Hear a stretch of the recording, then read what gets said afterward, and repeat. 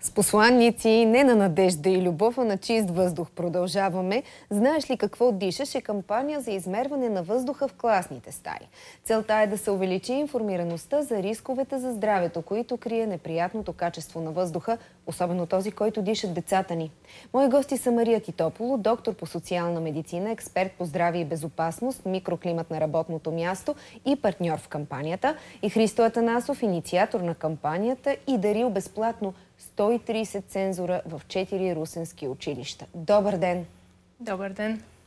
Цел и предназначение на кампанията, моля, да ни обясните как, как изобщо дойде идеята а, да, да измерваме въздуха в класните стаи. А, добре. Първо е важно да измерваме въздуха в затворени помещения и в офиса, и в къщи, за да може да знаем какво да правим след това. А, в класните стаи създадохме кампанията а, преди мал, почти една година, лятото мисля, че миналата година, едни наши партньори, които произвеждат такива сензори, а, направиха така, си направиха, нали, пуснаха един прес-релиз, а, че заедно с техни партньори в Канада са поставили 47 000 сензора, ни казахме 130, те са поставили 47 000 сензора в, а, мисля, че почти всички училища да. в Канада, а, но с държавен и общински бюджет. И ние тогава тръгнахме да... Нали, първата реакция беше от това в България никога няма да стане. И разбира се, втората беше добре, хайде да помислим как да стане. А, и нашите сили стигнаха до 130 сензора, но идеята всъщност, създавайки кампанията, а, повече а, организации, както компании, така и обществени организации, институции във времето за партньори, идеята е да а, създадем да повдигнем темата и същевременно по възможност да постигнем тази цел навсякъде да, да измерваме качеството на въздуха и след това да почнем да вземаме адекватни а, мерки спрямо това а, какви данни получаваме, разбира се. Какво може да бъде разминаването на данните в чистотата на въздуха вътре и вън? В, в класната стая или в офиса на фона на а, това, което ще дишаме след като го напуснем? Нека Мария да отговори Мария. Ако позволите, аз бих искала да тръгнем от там какво правим в момента и каква е практиката. Разбира се, практиката е строго базирана в нашата професионална област на нормативните изисквания. Има разписани наредби. Например, имаме наредба номер РД 073, която касае минималните изисквания по отношение на микроклимата в затворените помещения в работната среда. Това, което се прави в момента от акредитирани органи за контрол, какъвто е и нашия, акредитирани от Изпълнителна агенция Българска служба по акредитация. Ние замерваме три параметъра на микроклимата. Те са физичен фактор, това е скорост, влажност и относителна скорост, влажност и температура на въздуха в затворените помещения. Това са минималните изисквания. Изискването е това да се прави два пъти в годината, в студен и в топъл период, в два последователни дни с, съответните специалисти, с калибрирана апаратура, целият този контрол, т.е. измерванията са документиран процес, който влиза като входна данна в процеса на анализиране на рисковете на работното място. И до тук спират нещата. С тази кампания ние целим да дадем гласност как може да контролираме тези параметри в реално време. Тъй като едно замерване, примерно един път на 6 месеца, дава моментна картина, но тя не е релевантна на сегашната обстановка. И искаме да повишим информираността на хората и в случая на малките ни хора, на подрастващите, които са бъдещето на нашата държава, как това да се случва в реално време и как всеки от своята позиция човешка, индивидуална, да способства за това да а, живее в по-добри условия, да работи, да учи в по-добри условия и да бъде по-здрав човек. Каква е вредата от мръсния въздух? Ами, а, това е а, предмет на медицинската специалност пулмология, но а, много често, а, нали, като експерт по здраве и безопасност, а, мога да кажа, че изключително често се обострят вече а, хроничните заболявания, и в тези пикове на замърсен въздух в, атмосферата се наблюдават и остри респираторни инфекции, вируси, каквито има и в момента. И фактически въздухът през дихателните пътища прониква и в другите системи, органи на човешкото тяло и нещата могат да бъдат задълбочени и да се стигнат до сериозни проблеми. Особено в бъдеще. Да.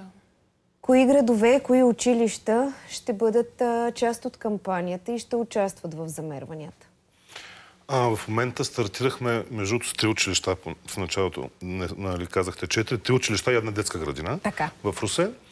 А, от тук нататък а, нашата Какви идеална... са резултатите там? Ви питам, извинявам Да. се, че ви прекъсвам, защото Русе периодично и те като нас, софиянци, се оплакват и дори протестират срещу въздуха, който дишат. Какво установихте?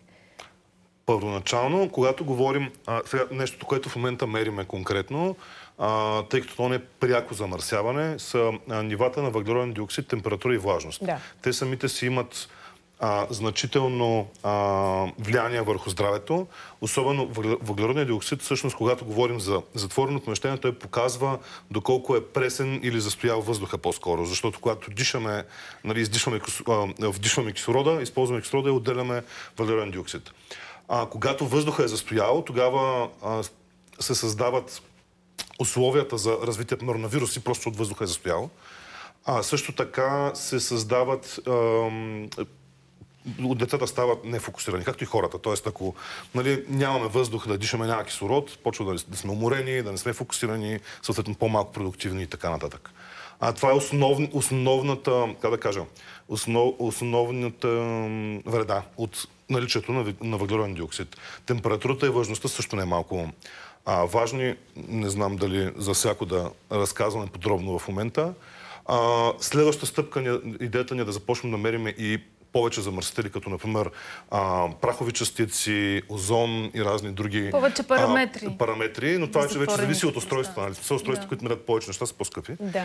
А, и зависи много от а, финансовите възможности на как се развият нещата. А, резултатите в Русе, да отговоря на въпроса, просто иска да направя една скоба, Да, да, да. да уточним. А, резултатите в Русе в, в началото, когато започнахме, има едни осреднени данни, т.е. замерихме и осреднихме се на всички стаи в училище, защото в някой е по-добре, в другия е по-зле, логично. А, и осреднените данни са някъде около два пъти над а, приетите норми а, на въглероден диоксид, т.е. средно. През цялото време децата са изложени на това. Пиковете са между 4 и 5 пъти. Защото пак, нали, речем, те се движат, има Да, междучасие, да. в което ако се проветри е добре, обаче когато влезем в стаята, всички са затворени, ам, се качват нивата много бързо. След Русе, кои градове следват? С- а, имаме Големите. събития.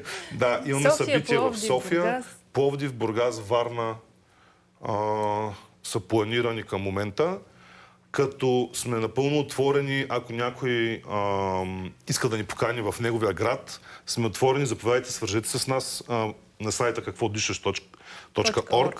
А, може да се свържете с нас и заедно да организираме, разбира се, на колко повече места, толкова по-добре. Казахте, че искате да повишите културата и на децата в това отношение. Да, това е и моята лична причина да се включа като родител, като майка. Моите три деца са в а, училищна възраст.